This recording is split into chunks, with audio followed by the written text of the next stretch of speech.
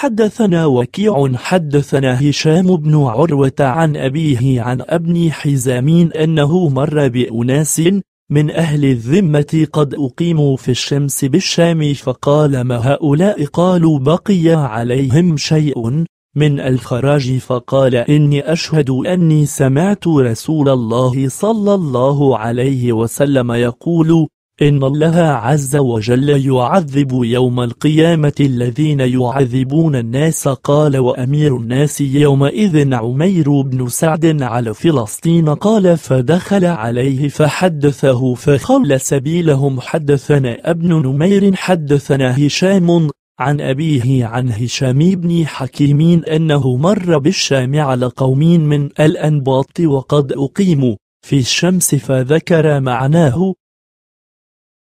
حدثنا عبد الأعلى عن معمر عن الزهري وهشام بن عروة أنهما حدثاه. عن عروة بن الزبير أن هشام بن حكيم رأى ناسا من أهل الذمة قياما في الشمس فقال ما هؤلاء؟ فقالوا من أهل الجزية فدخل على عمير بن سعد وكان على طائفة الشام. فقال هشام سمعت رسول الله صلى الله عليه وسلم يقول من عذب الناس في الدنيا عذبه الله تبارك وتعالى فقال عمير خلوا عنهم حدثنا أبو المغيرة حدثنا صفوان حدثني شريح بن عبيد الحضرامي وغيره قال جلد عياض بن غنمين صاحب دار حين فتحت فأغلظ له هشام بن حكيمين القول حتى غضب عياض. ثم مكث ليالي فأتاه هشام بن حكيم فاعتذر إليه ثم قال هشام لعياض ألم تسمع النبي صلى الله عليه وسلم يقول إن من أشد الناس عذابا أشدهم عذابا في الدنيا للناس فقال عياض بن غنمين يا هشام بن حكيم قد سمعنا ما سمعت ورأينا ما رأيت أولم تسمع رسول الله صلى الله عليه وسلم يقول من أراد أن ينصح لسلطان بأمر فلا يبدي له علانية ولكن ليأخذ بيده فيخلو به فإن قبل منه فذاك وإلا كان قد أدى الذي عليه لهو إنك وإنك يا هشام لا أنت الجريء إذ تجترئ على سلطان الله فهل خشية أن يقتلك السلطان فتكون قتيل سلطان الله تبارك وتعالى؟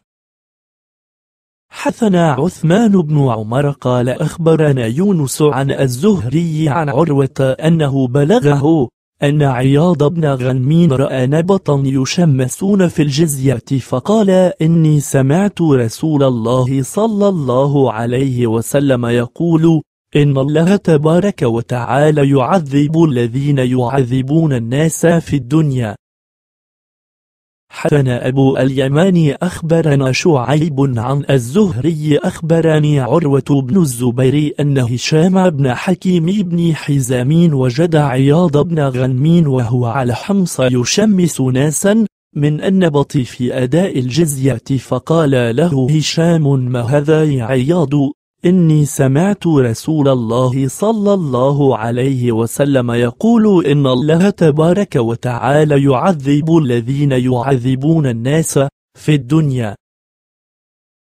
حنا يعقوب بن إبراهيم بن سعد حدثنا ابن أخي ابن شهاب عن عمه قال أخبرني عروة بن الزبير أن عياض بن غنمين وهشام بن حكيم بن حزامين مر بعامل حمص وهو يشمس أنباطا في الشمس فقال أحدهما للعامل ما هذا يا فلان إني سمعت رسول الله صلى الله عليه وسلم يقول إن الله تبارك وتعالى يعذب الذين يعذبون الناس في الدنيا.